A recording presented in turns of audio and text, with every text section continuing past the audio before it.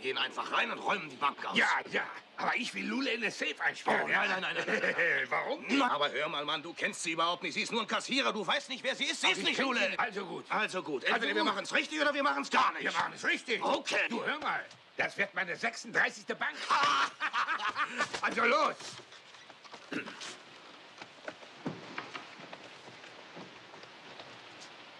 Guten Morgen.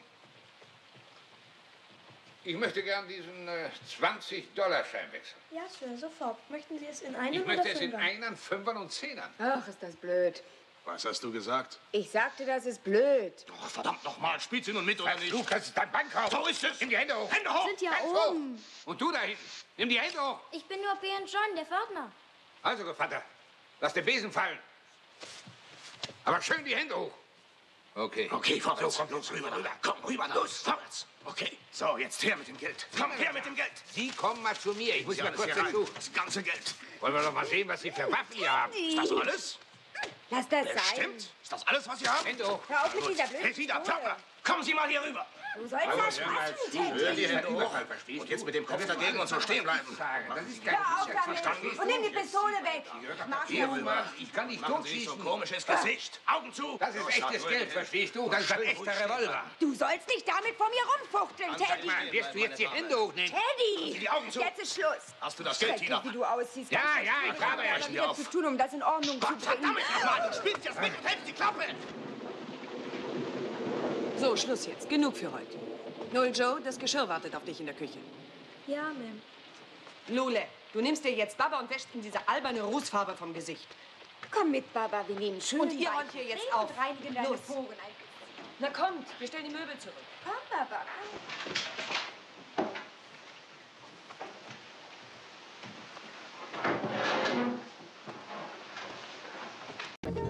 You hate to watch another tired man lay down his hand like he was giving up the holy game of poker.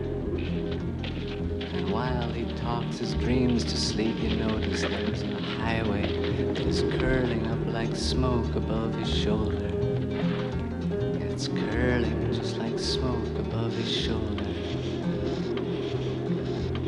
You tell him to come in, sit down, but something turn around. The door is open, you can't close your shelter. You try the handle of the road, it opens. Do not be afraid, it's you, my love, you who are the stranger. And It is you, my love, you who are the stranger. Well, I've been waiting. I was sure we'd meet between the trains we're waiting for. I think it's time to board another. Please understand, I never had a secret chart to get me to the heart of this or any other matter. Well, he talks like this, you don't know what he's after. When he speaks like this, you don't know what he's after. Potatoes, hot potatoes for a penny. Hot potatoes, a penny. You don't know what you're doing, McCabe. You got no experience at this. I need two more. All right, I got one more I can let you have. You wait a minute. Kate, come on out here. You can have her. You're gonna have to get her some teeth. All right. How much for three? Three. Eighty dollars each. Eighty dollars for a chippy. I can get a goddamn horse for fifty. I give you two hundred dollars for three of them. Be goddamn lucky if this year little split tail makes it through the winter. I made a mighty long ride down here. You must need 'em bad.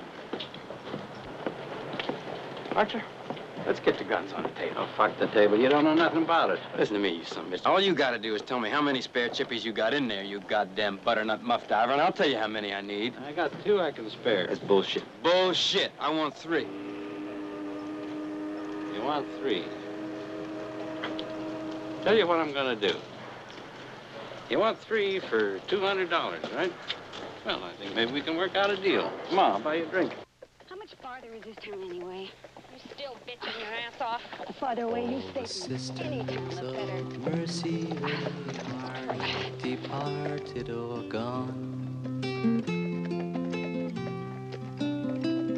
They were waiting for me when I thought that I just can't go on. Come on. Sit. And they brought me their comfort, and Come on, Mama, later hang on. they brought me this song.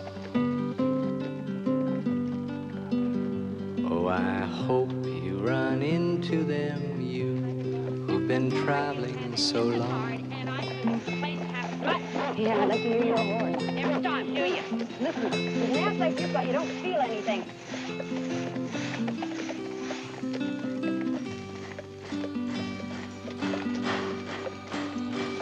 Yes, you who must leave everything that you cannot control. It begins with your family, but soon it comes round to your soul.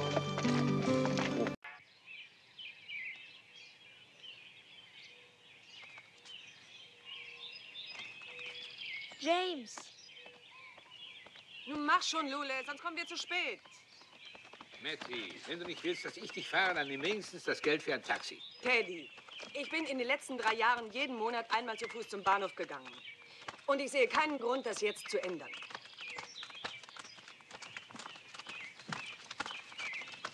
Pass auf. Pass doch auf, Baba. Ih,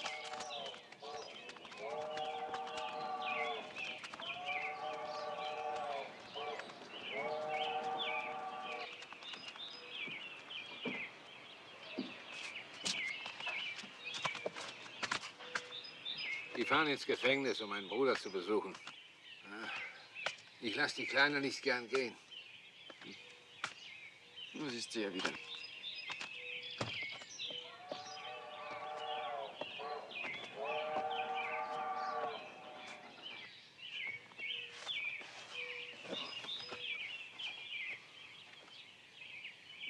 Wenn du mit Chicamo nach Hermanville gehst, dann fahre ich runter nach Biloxi und frag Lule, ob sie eine kleine Reise mit mir machen möchte nach Charleston und New Orleans.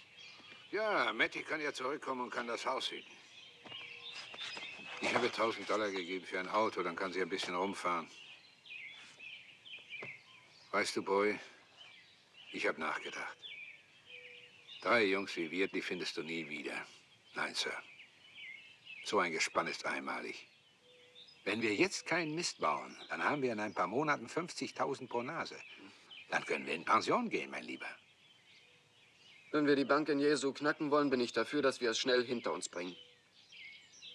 Ich muss mir einen Doktor suchen, der so ein Dieb ist wie wir. Der, der soll mir die Fingerabdrücke wegmachen und meinen Fuß reparieren. Dann hau ich ab nach New Jersey, auf die kleine Farm bei North Branch. Und dann können sie mich alle mal kreuzweise am Arsch lecken. Die ganze Bande. Hm. Ja, ich habe einen Mordsfehler gemacht in meiner Jugend. Als Kind hat man keine Ahnung.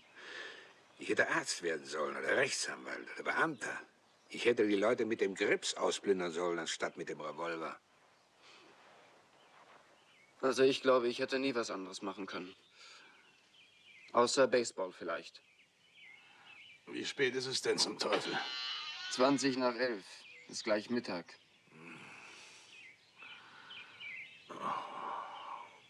Mir geht's saumäßig. Was war denn gestern Abend los? Boeing und ich, wir haben gerade was besprochen. Du willst also nach Harmonville. Was meinst du, wenn wir die Dinge erst mal ein bisschen ruhen lassen für ein paar Wochen? Ja, wir treffen uns in Jesus City, so um den 15. nächsten Monat, okay? Ist mir recht. Bin dabei. Okay, dann sehen wir uns also in Jesus City, Jungs. Wenn das klappt, wird das meine 37. Bank.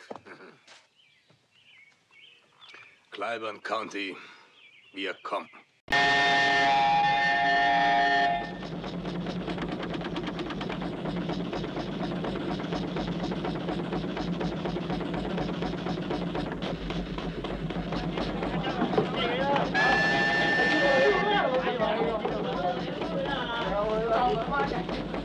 Thank you.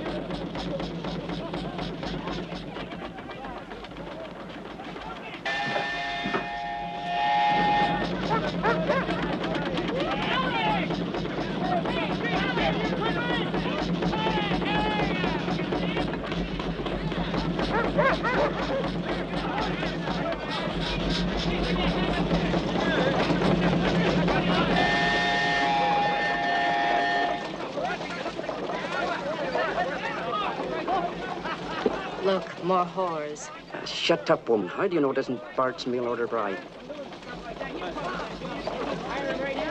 Damn it, I'll bet it is her. Ida! Ida! Ida, Ida, it's me, Bartley Coyle. Ida, I think this is for you. Are you, are you Ida? Well, here, here, jump off. I'll help you. Go ahead, I'll help you. Just go ahead, jump. Oh, good. How was the trip? Oh, McCabe. McCabe, this is Ida. Ida, this is McCabe. He's uh, building this saloon. Well, come along and I'll show you our place. It ain't much now, but I'm, I'll give you plans on fixing it up.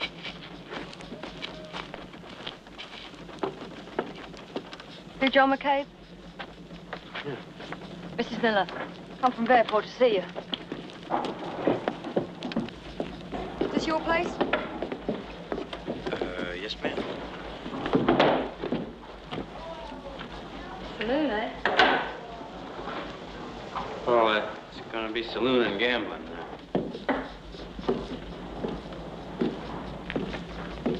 Did you say you come up here from Bearpaw to see me?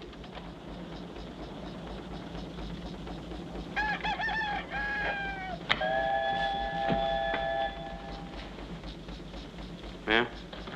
Uh, is there something I can do for you? Do you have anything to eat? I'm bloody starving. Took six hours to get up here in that flipping contraption. Uh, well, you have to forgive me. My kitchen ain't in operation yet, but uh, I, I could take you up to the restaurant up there if you're hungry enough. I'm hungry enough I could eat a bloody horse. Well, at Sheehan's place, you probably will. Another frontier wit, I see.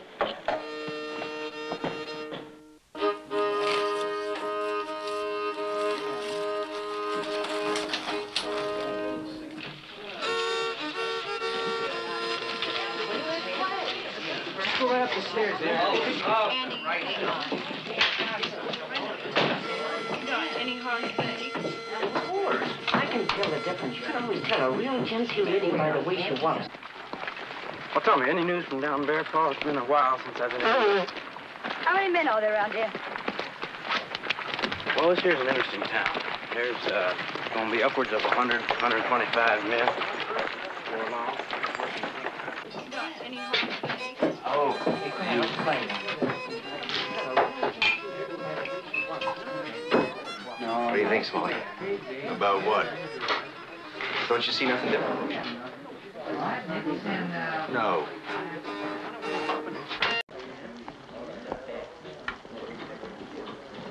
Sheen.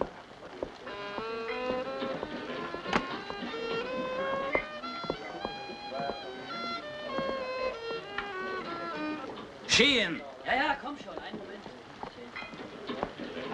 Aha, wir sind in Begleitung.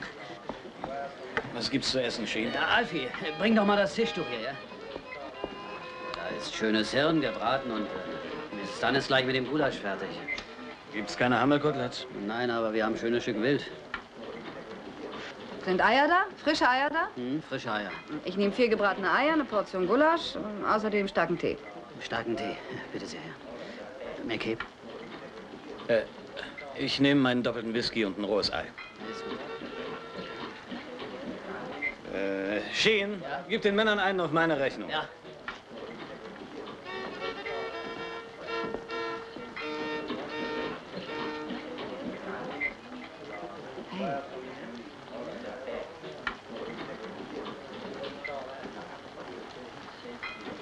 Sie wollen mir doch wohl hier nicht den großen Mann vorspielen, hm? Dann sollten Sie aber dies billige Eau de Cologne nicht weiter benutzen.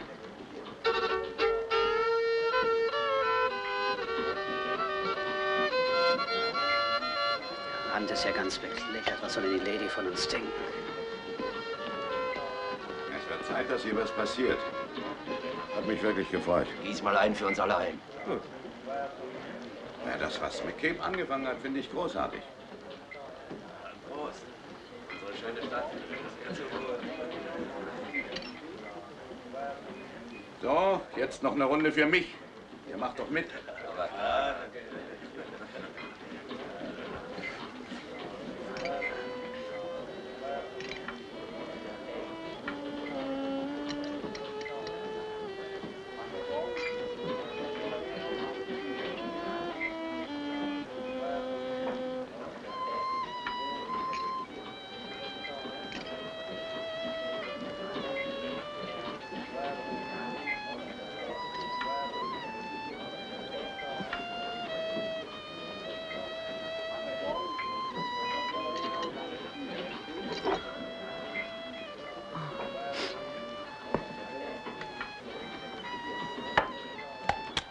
Hören Sie, Mr. McCabe.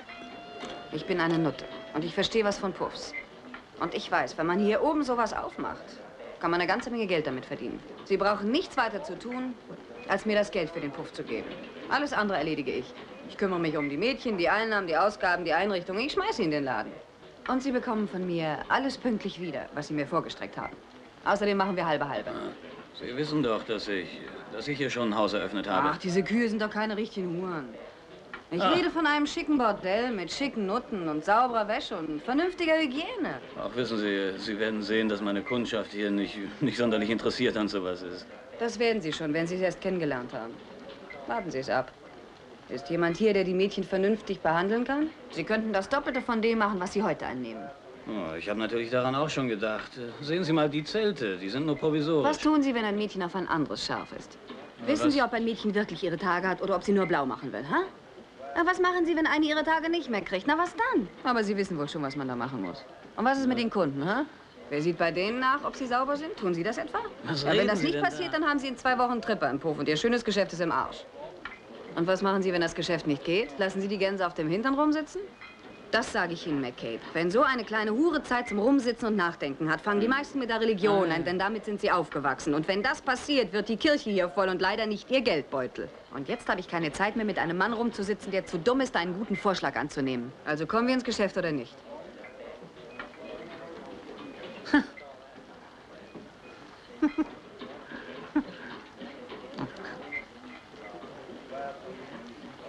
Was ist?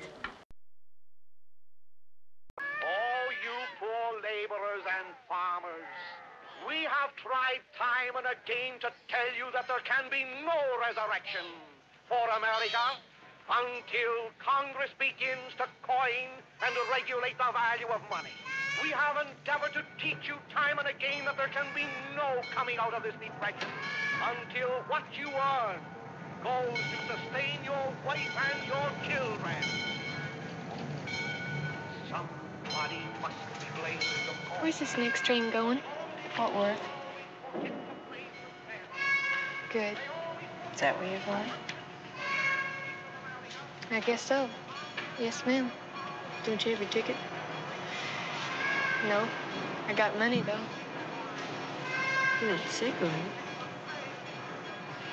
No, ma'am. I'm just gonna have a baby, that's all.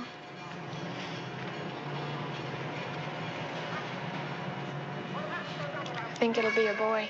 Can you tell? Well, I hope it is. But if it is, he sure will not be named after his daddy, God rest his soul. He crossed me up once too often lying. He doesn't deserve to have no baby named after him. Is he dead? Mm-hmm. Consumption. I'm sorry.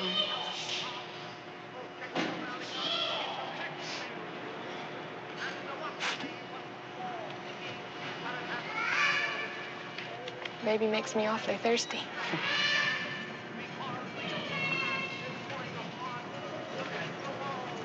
How long before we get to Fort Worth? Mm, about nine or ten hours. Nine or ten hours. That's a long time.